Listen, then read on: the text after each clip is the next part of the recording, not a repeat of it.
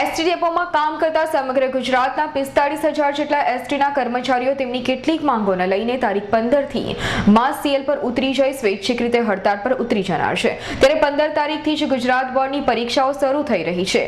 જેના પગલે માત્ર અને માત્ર એસટી બસના સહારે પરીક્ષા કેન્દ્ર સુધી પહોંચવાની આશા સેવી રહેલા વિદ્યાર્થીઓની મુશ્કેલીમાં વધારો થઈ જશે એનું વર્તાઈ રહ્યું છે. જોકે તેઓ સમયસર પરીક્ષા કેન્દ્ર સુધી નહીં પહોંચે તો તેમનું શૈક્ષણિક વર્ષ પણ બગડી શકે છે. ત્યારે આવી સ્થિતિમાં પણ ડેપો કર્મચારીઓ દ્વારા બે દિવસ સતત હડતાળ પર જવાની વાતના લઈને વાલીઓ પણ ચિંતિત બન્યા છે. અમારે જવાનું અમને પ્રોબ્લેમ થવાની છે. શું શું પ્રોબ્લેમ છે તમારે? એસટી બસની જે હડતાલ પડવામાં આવી છે તેના લીધે અમને ખૂબ જ પ્રોબ્લેમ થવાની છે. કારણ કે અમારે અમારું પોતાનું પૈસા ખર્ચીને અમારે ખાનગી વાહન કરીને અમારે ત્યાં પહોંચવા પડશે. જો કે ગ્રામ્ય કક્ષાએ વિદ્યાર્થીઓના વાલીઓ દ્વારા ખાનગી વાહનો કે બાઇકની વ્યવસ્થા ઊભી કરી લીધી હોવાનું જાણવા મળી રહ્યું છે. ત્યારે હવે બે દિવસે એસટી બસ સેવા બંધ રહેતા વિદ્યાર્થીઓને તો તકલીફ થશે જ. સાથે સાથે રોજિંદા એસટીમાં મુસાફરી કરનાર મુસાફરોની મુશ્કેલીમાં પણ વધારો થશે તેવું માનવામાં આવી રહ્યું છે. સમગ્ર ગુજરાતની અંદર પિસ્તાલીસ હજાર જેટલા એસટીના કર્મચારીઓ તારીખ પંદરમીને રાત્રિથી આંદોલનમાં જોડાશે. અમે મેનેજિંગ ડિરેક્ટર તેમજ ગુજરાત સરકારના જે વાહન વ્યવહાર મંત્રી શ્રી રૂપાણી સાહેબ વગેરેને પણ અમે પત્ર લખીને ત્રણ મહિના પહેલાં અલ્ટિમેટમ આપેલ કે અમે હડતાલમાં જોડાઈશું.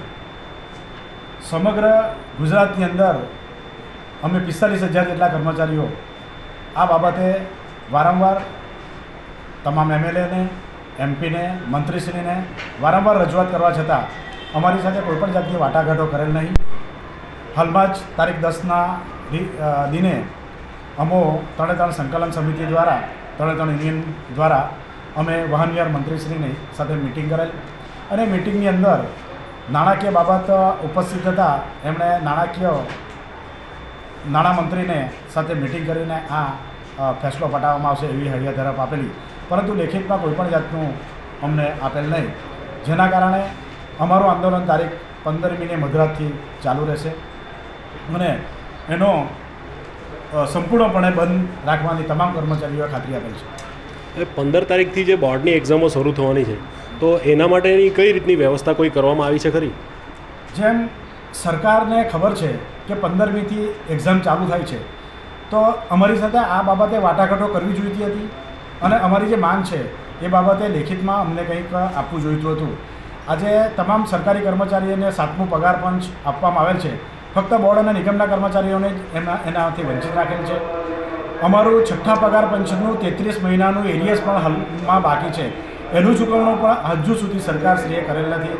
અનેક લાભો બીજા કર્મચારીઓને હમણાં આપેલા છે. પરંતુ બોર્ડ નિગમના કર્મચારીઓને એમાં લાભ આપવાથી વંચિત રહ્યા બીજી તરફ વર્ષોથી એસટીના કર્મચારીઓ સાથે સરકારી તંત્ર દ્વારા તેઓને મળવાપાત્ર લાભોથી વંચિત કરવામાં આવતા તમામ લાભો મળી રહે તે માટે તારીખ પંદરથી એસટી પિસ્તાળીસ હજાર કર્મચારીઓ એક સાથે હડતાળ પર ઉતરી જતા એસટીના પૈંડા થંભી જશે. હા તો મારે ન્યૂઝના માધ્યમથી જણાવું કે એસટીની હડતાલ બે દિવસ રહેવાની છે એવા સમાચાર મળ્યા છે. તો ગઈકાલથી જ જેવી આવા જાણ મળી વાલીઓને અને બાળકોને, તો બધા ચિંતા વ્યક્ત કરે છે. ફોન પણ વાલીઓને આવ્યા કે, સર, આવા જવાની વ્યવસ્થા શું કરશો આપણા, આ એસટી બંધ રહેવાની છે. તો મેં પણ સમજાવ્યા છે કે, ભાઈ, સમયસર જવું જરૂરી છે. જો એસટી ન આવે અને બાળકો સમયસર ન પહોંચી શકે, એમની કારકિર્દી સીધી અસર થાય, સમયસર ન પહોંચે એમને. અને એ ચિંતન લઈ અને પછી વાલીઓ અને વિદ્યાર્થી દ્વારા પોતપોતાની રીતે ખર્ચ કરીને પણ ખાનગી વાહનો બાંધીને પણ એ લોકો આયોજન કરી રહ્યા છે.